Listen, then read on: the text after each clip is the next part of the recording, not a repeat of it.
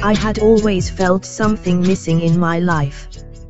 Despite my perseverance and determination, I couldn't shake the feeling that I was meant for something greater. One day, I was wandering through the forest and stumbled upon a clearing unlike any I had ever seen before. As I wandered through the meadow, the tall grass brushed against my legs. In the distance, I spotted a magnificent tree, its enormous trunk reaching up to the infinite horizon. I couldn't help but feel drawn to it, so I made my way over.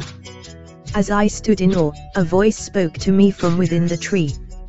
I am the quintessential embodiment of all that is good and true in this world, the tree said.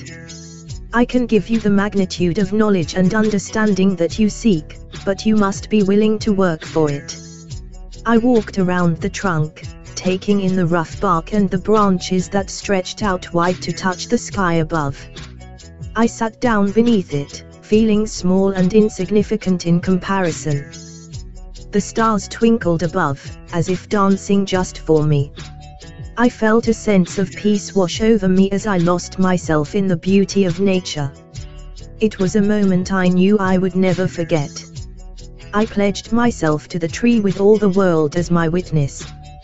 Day after day I tended to the tree, studying its every branch and leaf and as I did, I began to understand the secrets of the forest and the world beyond. The knowledge and understanding I gained was unprecedented, and I knew that I would never be the same again.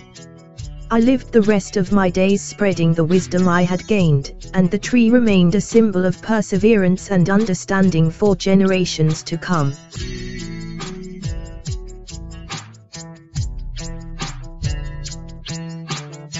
Yeah.